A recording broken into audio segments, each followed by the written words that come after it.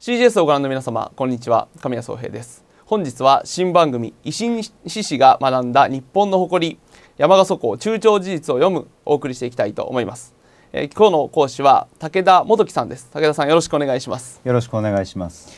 えー、武田さんということでいきなり誰だこいつはということになるかと思うんですが、えー、関西私有協会とい。うところで、はいえー、いろいろ教えたり学んだりされているということなんですけどもまずその関西私有協会ってどういった団体なんですか？えーとまあ、有名なですねあの安岡正弘先生、はい、歴代総理大臣の指南版とも言われてましたけれども、はい、安岡先生が作られた会の系譜を、はい、持ってる会ですね。はいでそこでまあ私はあの山賀祖港に関しての研究会を立ち上げて、はい、え代表を務めておりますもので、まあ、今回こうお声がけいただいたはい、はい、よろしくお願いします。はい。他にも何か論語の勉強したりとかそういったこともされてるんですよね。はい、あの私がやっている活動はですね、まあ、古典に触れる機会を若者に作りたいということで、はい、え主にあの古典の素読ですね、はい、大きな声で、えー、古典を読むとい。うのを普及する活動をやっております。ありがとうございます。CGS では実は、えー、もう一つ別の番組もありまして、まあ、日本語をしっかり勉強しようというあの番組を作ってるんですがその中でもあの古典の所得をですねやっていくことが日本人の正しい日本語の学習につながるんじゃないかという話をしているのでそこもなんか話がつながりますね。あそうですね、はいでまた、えっと、今回はあこの山賀祖港の中長事実を読むということで、えー、いろいろフリップや、えー、構成の方を作っていただいたんですけどもお、まあ、今回ですね私の方が実は中長事実勉強したいということで、えー、番組の方お願いしたんですけれどもあのー武田さんが中長事実を勉強しようと思ったきっかけって何だったんですか？私があの中長事実を学ぶきっかけになったのはですね、はい、まあ、あの安岡先生が、えー、代表的な著作の「日本精神の研究」という書物の中でですね、はい、第一番目の人物として山賀祖港を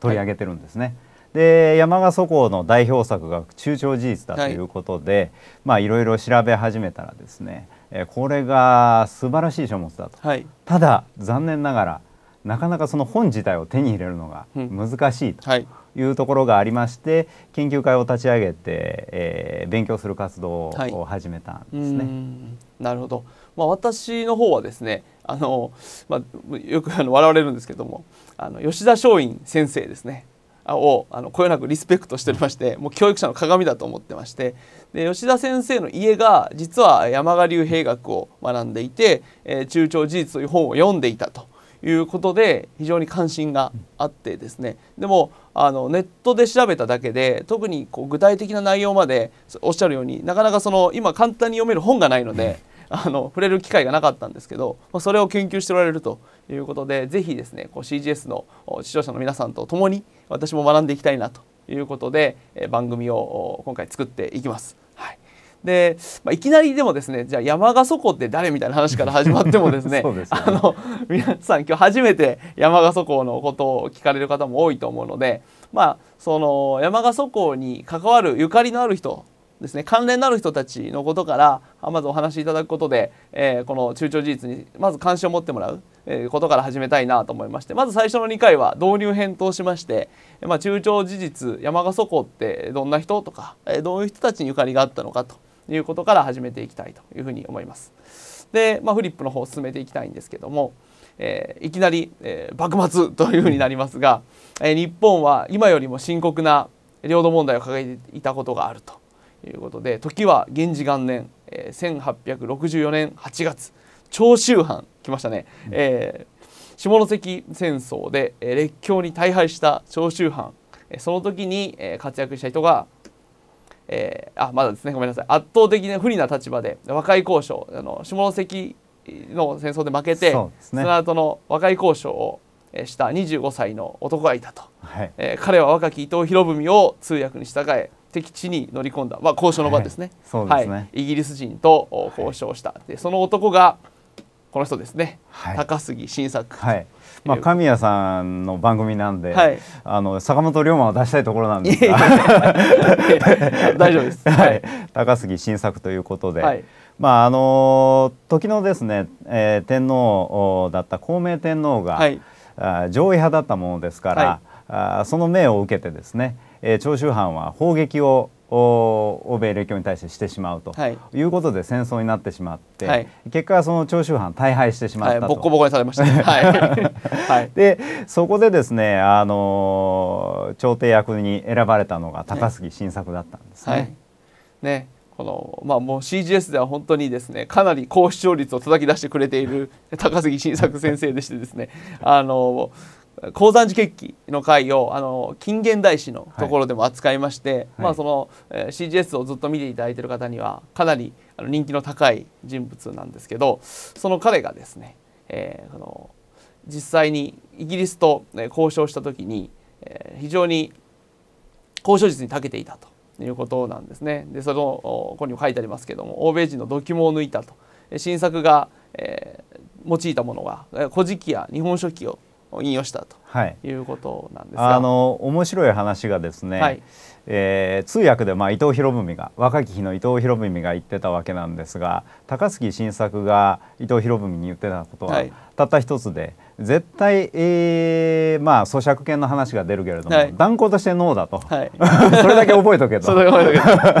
いうことで、えー、臨んだわけなんですが。まあ、その時にですね高杉晋作がもうすごい迫力で日本語でまくし立てたのが、はい、その日本のお国生みの話ですね、はいうん、えー、をしたという話が伝わってますね。うん、はい、はい、そうなんですね。CGS でもやりましたね。もう延々と古事記や日本書紀を語って日本とは何ぞやという話をしたということで、えー、交渉のね相手がと煙に湧いたという話だったんですけど、まあ、その時に、えー、彼が話したものっていうのはただ単に「古事記」を朗読しただけではなくて高杉晋作の先生先ほど私名前挙げましたけども吉田松陰が教えてくれた、まあ、日本の国体感と日本とはどういう国なのかということを一生懸命説いたというのがその時の交渉の内容だったということでいいんですか、はい、そうです、はいはい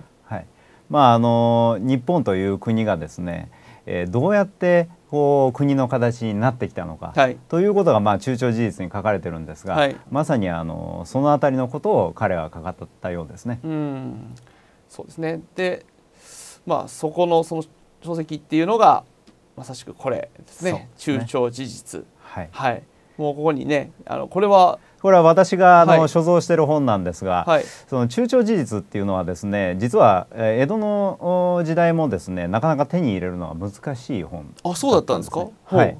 あの実は正式に印刷というか、まあ、あ当時はあの木版なんですが、はい、されたのが東北の津軽藩だけなんですよ。はい、でそれもあの極秘裏にえー、木版されたものでしてそこから許しを得てですね、はい、そこに傾倒されてたんですね津津軽の殿様が。はい。はい、なので、えー、ほとんどの人がその乃木大将の、まあ、後々、はい、あのお話し番組でも出てくる、はい。乃木丸助大将、はい、本の存在自体知らなかった。で吉田松陰も八方尽くして、やっと手に入れたみたいなんですね。あそうなんですね、はい。それの原本。そうです。おおよく手に入りましたね。はい、はいタイマイはたきました。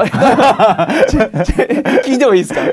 いくらしたんですか？いやいや、あの、ただね、あの。はい、逃げましたね。え、いやいや、あの、今のね、日本が。本当に寂しいなと思うのは。はい、タイマイはたきましたと申しましたが。はい、まあ、それは私にとっての話であって、こんな本は本当は10万20万もっと高くついてもいいと思うんです、ね、私が出したお金は私のお小遣いの中で、はい、あなるほど。住む範囲だということです。今今10万20万って数字出ましたから まあ10万20万より安かったっていうことです。そうですね。まあそこはご推測にお任せしますが、はいはいはい、でもこれあれですね。中身まあ私も恥ずかしながら漢文をこうやって名乗られてもなかなか読めないのであれですけど江戸時代の人はこれを全部読めたんですもんね。そうですね。ねまあ、あのそれがその特にこう選ばれし者だけではなくて、はい、えー、まあ、武士階級の人であればですね、うん、大概の人がこれを読んでたわけですから、はい、はい、それを考えると昔の江戸時代の人たちの教養の高さっていうのをですね、はい、感じますね。なるほど。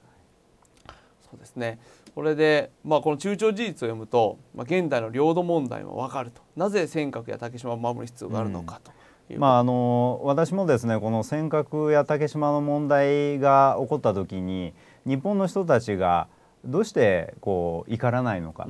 ということを思うわけなんですね。はい、それはそのやはり日本という国がこの国土というのをどう捉えているのかということをやはり知らないからだと思うんです。はい、それをやはり中中中朝事実を学ぶことによって、うん、あそうなのかと、はい、日本というのはこの国土の上に、うん、人も文化も成り立ってるんだということが分かってくると思うんですね。うん、はい、そしてさらに中朝事実を学べば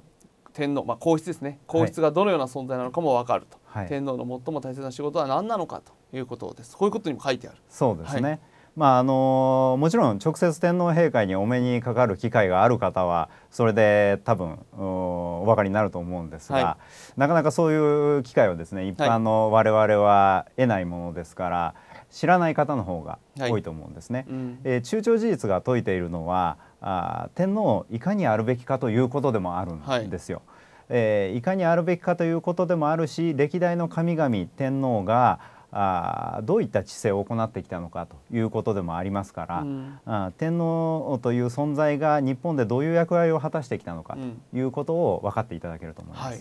なるほど、はい、中朝事実を学べば、えー、天皇皇室はどういった存在ご存在なのかということが分かると。我々らを含めた国民がいかにあるべきかということもつながにもつながっていくということですね。でこれは山賀細港の写真っていうか絵ですね。はい、はい、中中実を学べば日本的リーダー論がわかると。高杉晋作が交渉に使った日本の国体感、はい、えー、そういったもの吉田松陰が学んだ日本のあるべき姿。そして皇室の形領土の捉え方、えー、そういったものがこの一冊からいろいろ分かってくるということでよろしいんですかね？はい、はい、ぜひあの次回からまあシリーズでいろいろ解説をしていただきたいと思いますが、はい、次回ももう少し概説的なお話お聞きして、ね、はい、内容の方を教えていただきたいと思います。本日はどうもありがとうございました。どうもありがとうございました。